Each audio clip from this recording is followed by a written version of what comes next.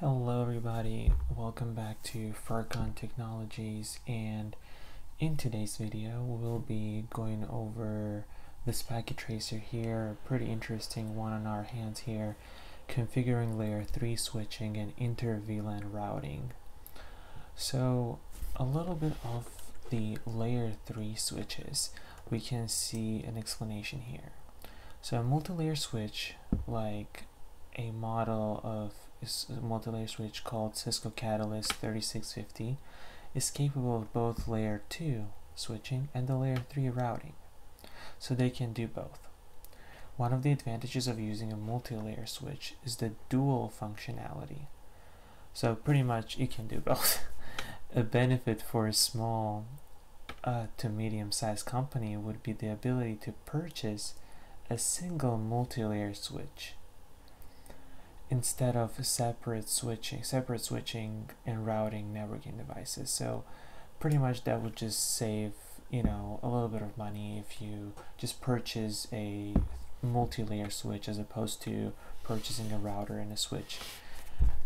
Capabilities of a multi-layer switch include the ability to route from one VLAN to another using multiple switched virtual interfaces, SVIs as well as the ability to convert a layer 2 switch port to a layer 3 interface. Alright, so let's get straight into this here. Um, so we have, in part 1, you will configure the gigabit ethernet 02 on switch MLS here and verify that you can ping another layer 3 address. On MLS, configure G02 as a router port and assign an IP address according to the addressing table. Let's just make sure that we got this correctly. 209, 165, 200, 225, 209, 165, 200. Okay, cool. All right, so um, I think let's go ahead and do this right here, options, preferences, and let's go ahead and say always show port labels. Okay, yeah, like I thought, this is gonna be the G02 interface. So, alright, so interface G02. Um, no switch port pretty much just turns this port into a router port. Um, IP address 209 165 200 225 255 Okay, cool. And let's go ahead and do ping 209 165 200 226 go ahead and see. Yes, it went through successfully. Cool, we can ping. Alrighty, let's move on to part two. Um, add VLANs to MLS according to the table below. Packet tracer scoring is case sensitive, so the so the type so type the names exactly as shown. Configure activate SVIs for VLAN 10, 20, 30, and 99 according to the addressing table. The configuration for VLAN 10 is shown below an example. Okay, cool. Let's do that. Um, let's do config config no IP, domain, lookup. Um, this is nothing related to the inter-VLAN routing. This is just pretty much to um, you know disable like for example if I type in the wrong command so it doesn't just like starts like you know trying to resolve it into an address pretty much. Um, okay. Um, all right so we need to do we need to add the VLANs VLAN 10 name staff VLAN 20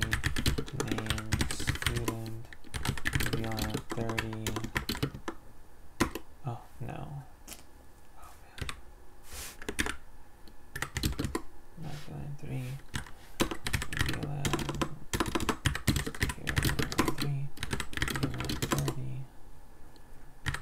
name, uh, OT. Perfect.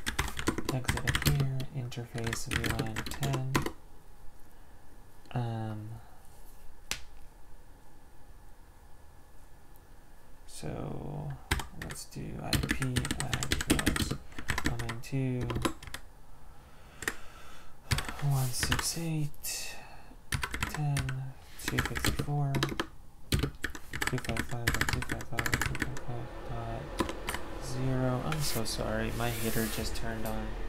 Sorry for the background noise. Um, alrighty, so we got 192.168.10.54, 255.255.255.0. Go ahead, hit enter. Now shut it, just in case. Um, and then it also tells us configure and activate the SVI interfaces for VLANs 10, 20, 30, and 99. So we need to do for all of them. All right. Uh, let's see here. So okay. Interface VLAN 20. Uh, I'm not gonna retype the IPv command, so I'm just gonna go ahead and up arrow and just change the third octet to 20. Um, enter. Um,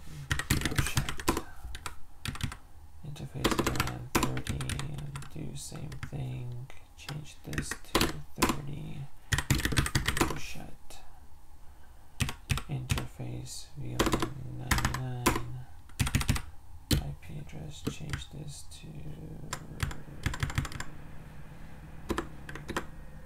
just change this to 99, oh shit, perfect.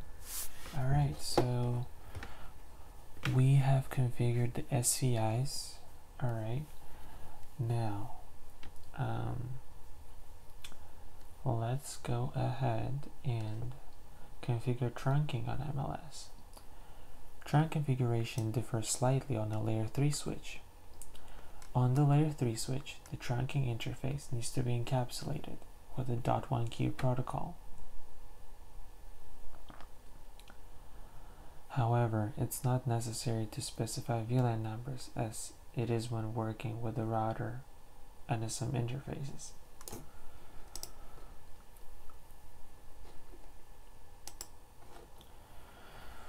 Um, on MLS configure interface G01, so let's go ahead and enter interface G01, uh, switch port mode trunk.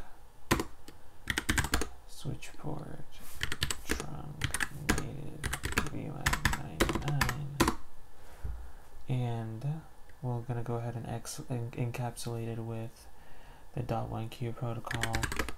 And just like it's mentioned up above um, we do not need to specify um, as you can see here we don't need to specify the VLAN number as when as if we were working with uh, the router um, and the router sub interfaces. So pretty much this is a different implementation of inter-VLAN routing as opposed to the router on a stick.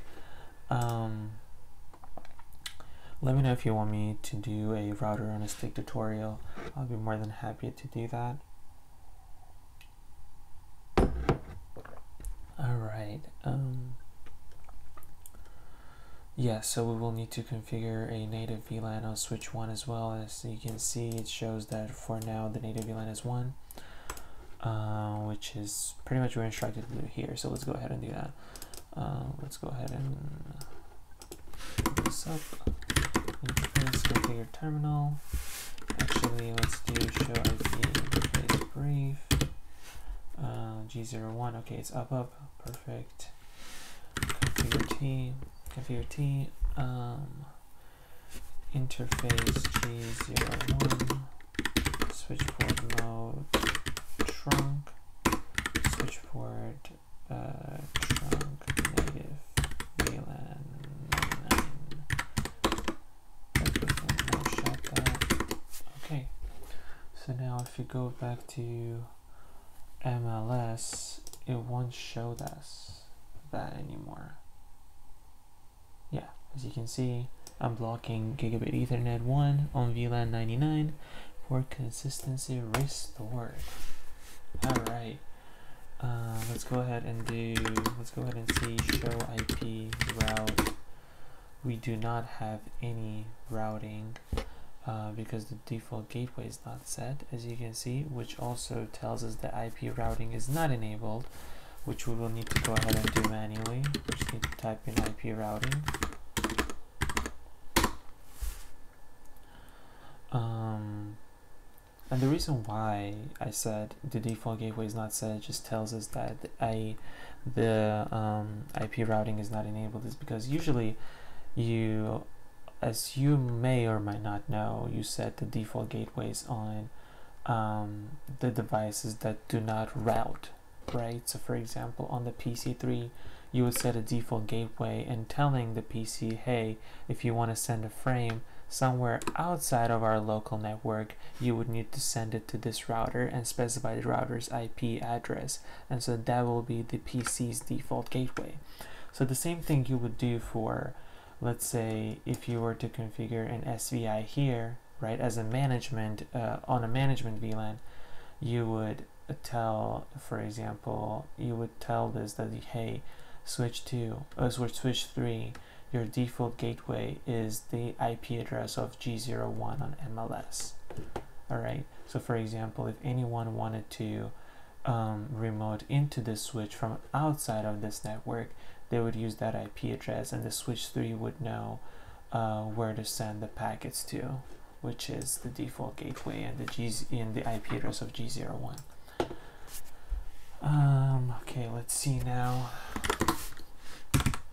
IP route and you can see now we have uh, routes here so you can see we have directly connected routes uh, as specified by C you can also see it here uh, in the legend here, C connected. Um, so 192.168.10.24 is directly connected. 192.168.20 20, uh, slash 24 is directly connected to VLAN 20, 30, VLAN 30, 99, VLAN 99, and obviously this one is connected to uh, the G02 interface. Um, okay, so now we just need to verify from PC0 ping PC3 or MLS wait from PC0 ping, ping PC3 or MLS to verify connectivity connectivity within VLAN um, 10 actually. So let's go ahead and do that.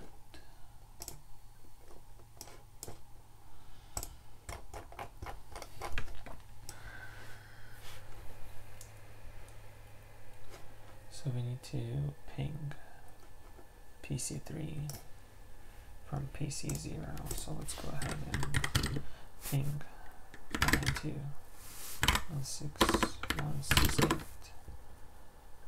168 10 1. Oh, not the right one. That's for PC1. It's supposed to be PC2. PC3. Okay, cool. So that pings. That's perfect. Let's go ahead and now from PC1 to PC4. So that's going to be ping 192.168.22 and yes, we got that going. Perfect. From PC2 we'll ping from PC3 in it. Oh yeah, PC PC2. Never mind.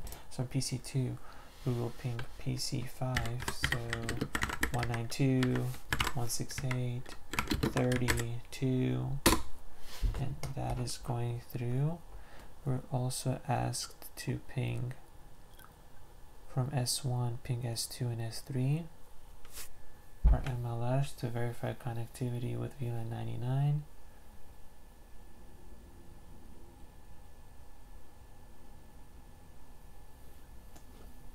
Okay. Let's go ahead and from PC1, uh, from S1 ping S2 now um, ping or do ping 192 192 168 let's see. Goes through. Dot 3 should go through as well. Yeah it goes through. Perfect. And let's just for the culture um, okay. Alrighty. Um, oh what was I gonna do? Sorry I got distracted here by notification. Um, let's go ahead and ping MLS as well. So that would be 254 and that should go through two and it does. Perfect. Alright so now to verify inter-VLAN routing ping devices. Okay let's let's just just let's just from PC 0 here let's just go ahead and ping uh, 22 that should go through. Um, let's see. Yep okay it goes through. And then let's go ahead and ping 32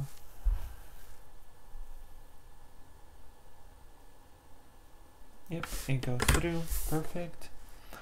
All right so and then from any device cloud. Let's see what's the IP address of the cloud here?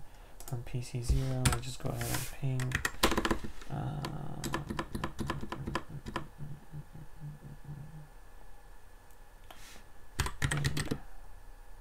I believe it's 226. Ping 209.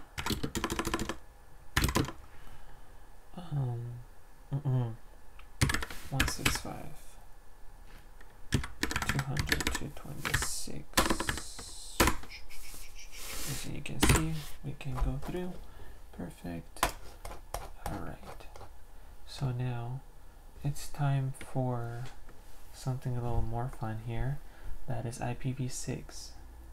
Um, obviously, nothing too different with IPv6, right? Um, just the IPv6 addresses and the command to enable the IPv6 routing. Um, so yeah, let's go ahead and get straight into this. Alright, so um, let's go ahead and start with enabling the IPv6 routing. So IPv6 unicast routing. Um, okay, so now we're going to need to go ahead and configure IPv6 addressing on SVI for VLAN 102030, 102030, and according to the addressing table. Okay, so here it was 1020 30 and 99 okay here is just 10 20 30 okay got you. Alrighty so let's go ahead and do that. Interface VLAN 10 oh um well yeah. Interface VLAN 10 IPv6 address 2001 DB8 ACAD 10 colon colon 1 slash 64 okay. Let's go back here. Um so we'll do the same thing to VLAN 20 bring that IP up. Um change this to the 20 um all right so and then bring this thing up again and then bring this up and change this to a 30 all right so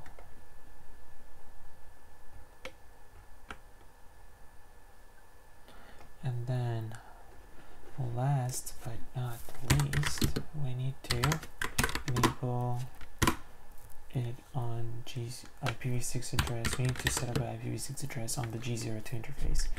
So IPv6 address. Um, we can actually just pull this up and just change this to a 2001 DB8 ACAD A colon colon 1 64. Perfect. Alright, and so even though the packet tracer tells us 100%, in real world there is no packet tracer. So we're gonna need to test this out in real world. So let's go ahead and do just that. Uh, from PC3 ping MLS to verify connectivity within VLAN 10. Obviously this is gonna be a um, IPv6 addresses that we're pinging. Okay.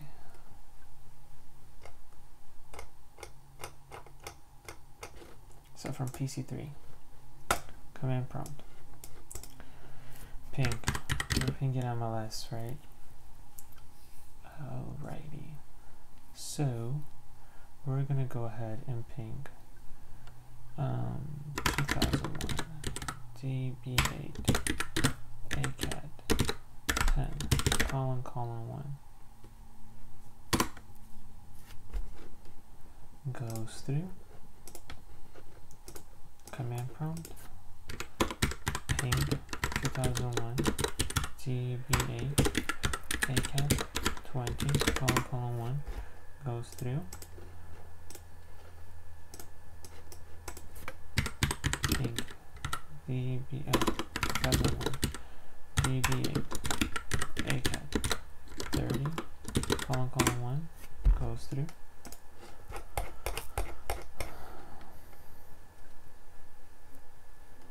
okay so from let's say from PC3 we're gonna go ahead and ping.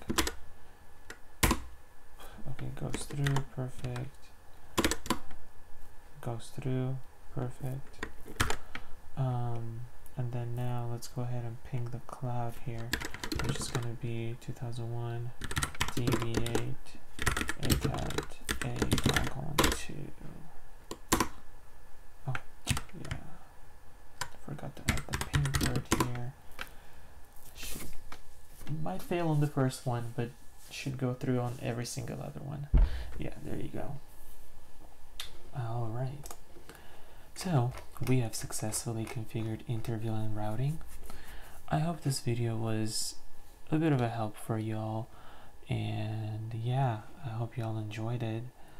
Um, so, if this video was helpful for you, go ahead and you know hit the like button if you didn't like this video as that much go ahead to, go ahead and hit the dislike button. It's totally fine. Uh, if y'all could go ahead and subscribe to my channel that would be amazing as well. Um, I am currently working on um, my CCNA certification. I'm currently studying for it. I have an exam coming up. Um, but after that I'm planning on uh, taken advantage of uh, the shorts feature and maybe making um, you know some one minute IT or CCNA specific you know explanation videos. Let me know what y'all think about this idea down below and maybe I'm not even gonna wait till uh, I take my CCNA maybe I'll just start doing it you know right away. So who knows? Um, but yeah. Thank you so much for watching. Peace be upon you all, and yeah, have a good day.